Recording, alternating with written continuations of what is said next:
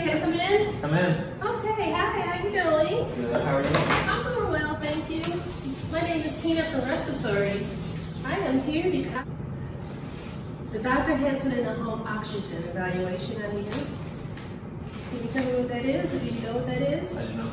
Okay, well, before we get started, can you verify your name and your date of birth for me, please?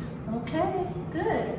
Well, home oxygen evaluation is when, of course, we just diagnosed you for COPD, and sometimes you may need oxygen or you may not need any oxygen, depending on if you're at rest or what kind of activity that you may have during the day.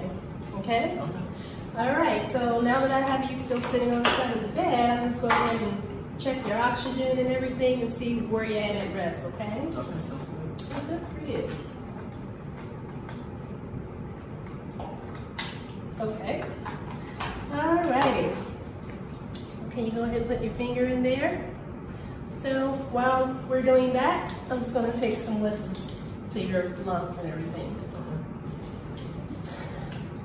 Can you take a nice deep breath? Again. Again. Again. And one more time. Okay. How do you feel? Okay. Feel okay? A little, a little short of breath, but nothing too bad. Okay, well, right now you're between 92 93% at rest, but that might change, may not change when you come in and walk you. So I'm going ahead and write that down so she can have a visual. So in the meantime, what I'm to have you to do, I'm going to have you to look over this pamphlet. It give you some information about your disease. Okay. And if you have any questions or concerns, the next RT will come in and talk to you about it. Sometimes you might have questions and you might forget, so just go ahead and write them down so you can remember, so you can get a little bit more understanding, okay? Okay. All you thank much. you. You're welcome. Is there anything else I can do for you? I think I'm good for now. Okay, thank you. It's nice meeting you. Nice meeting you.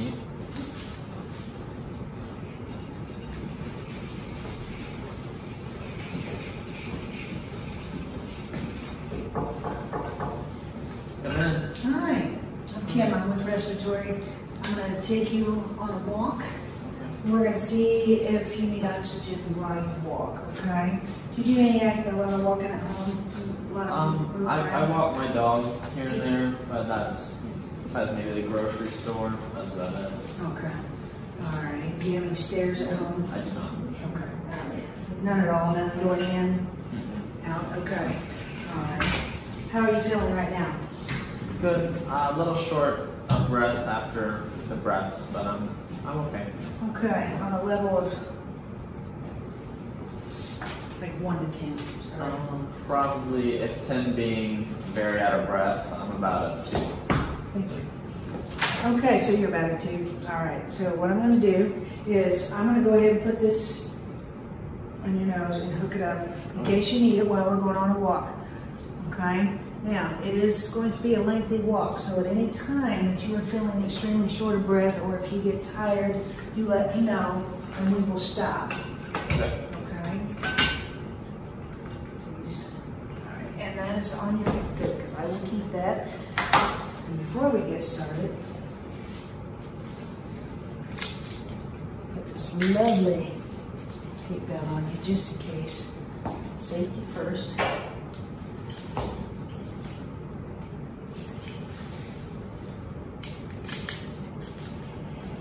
It's gonna be a little snug. Okay? You Still breathe? I can breathe.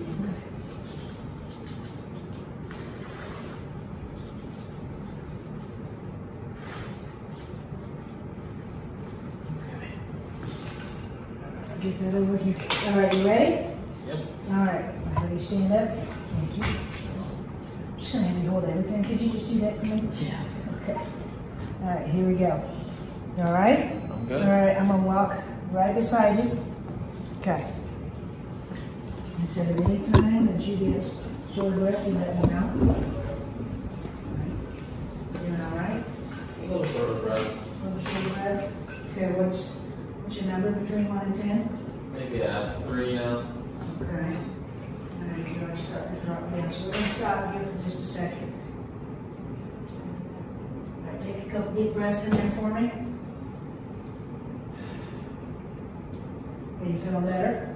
I am feeling better. All right, we'll continue walking. All right, you need to stop, slow down. Okay, for right now.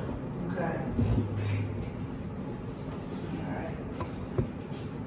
Here we go. I'm gonna stop, just keep walking, I'm right there with you. Okay. Wait a minute, how do you feel now? Getting a little bit shorter on breath. Okay, all right. We'll go back and sit down.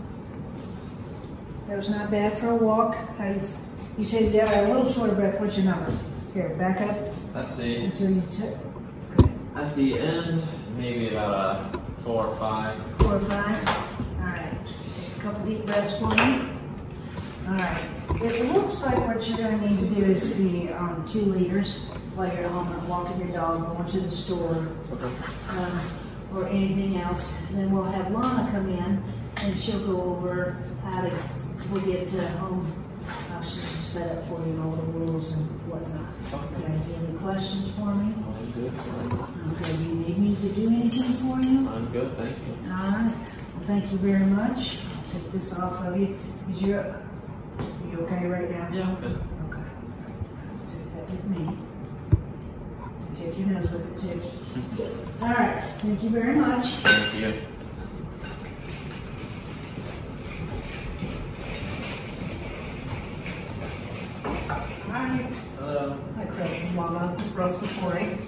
How are you feeling after your walk?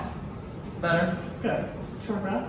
A little bit, Good. but not You're all sit Yeah. Okay. Um, Kim said that you need two liters at home. So have you ever had oxygen at home not. Okay, so, um, did you look over your, um, pamphlets that we gave you? A little bit, yeah. About COPD and some of the facts and myths? Do you have any questions? So I saw in here it says smoking is the number one cause, and uh, I do actually smoke. Could that probably be why Yes. COPD was caused? Yes, for sure. That could be um, a cause. And it's also genetic. What do you do for a living? I am a mechanic. So that's also probably part of it Oh, really? because there's, you know, asbestos and particles on um, auto parts that you handle all the time, I'm Right, sure. yeah. Very dusty. Yeah. Okay, so um, let me write a number down for the oxygen um, company. And what we'll do is we will call them and get you set up for oxygen delivery at your home. Somebody will come in and, set it all up for you, talk to you about um, usage, show you how to put the hoses on and clean them and store it. It's really important um, that you do not smoke, you know, where the oxygen is stored or while you have oxygen on. So you're just using the oxygen during activities. Right. Okay. So um, it's really good that you have smoke detectors in your house. I do. Okay, and then you should also not store like any kind of chemicals, cleaning supplies, or anything like that near or around um, the oxygen. Do you have any other questions? All right. Here is another really important thing to do is a sign. You know, should go on your door, and you can have these. You can take these home with you, Okay. so that people are aware that there's oxygen in use, and not to smoke or have flammable materials around the oxygen. All right. I appreciate you. Thanks. Thank you. All right.